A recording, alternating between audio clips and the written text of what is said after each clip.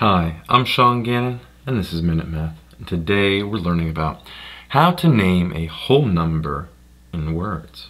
Minute Math, Minute Math. When you need help, you use Minute Math. There are, well, infinitely many whole numbers out there, and this is just one of them. And we're going to name this in words. We have 8, and then 165, 432, 098, and 710. And you can see we have sections of 3 separated by commas that really break it down. We have the 1 section here, and then these are like the, the, the thousands, and this is the millions. We got billions and trillions right there. When you name numbers, well, in words, we start with the most left value here, and that's going to be the 8.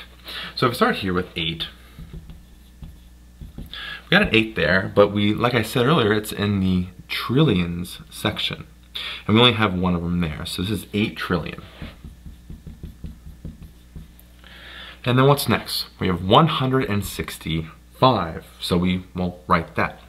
165. Oops. Almost wrote five. Five with a V. But like I said, we're in the, well, that was trillion. This is the billions here. So 165 billion. Now we go to the next section here, 432. And judging by this, I'm gonna write it down here just so we have more space here, but it'll all be one big word. So we have four, four in the hundred, so 400 in that little section, 30, 2, and then that's in the million. So we have million here. So 432 million. Now going down here, we have, well, there's a zero, so don't worry about that.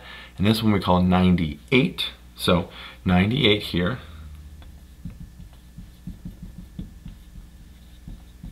And then that's gonna be in the thousands section. 98,000. And then lastly here, we're just like in the basic numbers really. We would call that just seven, right? Seven. And the hundred. And then we have one zero at the end, which we call 10. And there we have it. If we write this in words, we have our parts. 8 trillion, 165 billion, 432 million, 98,710, or 710. I always add the and, but it's just 710.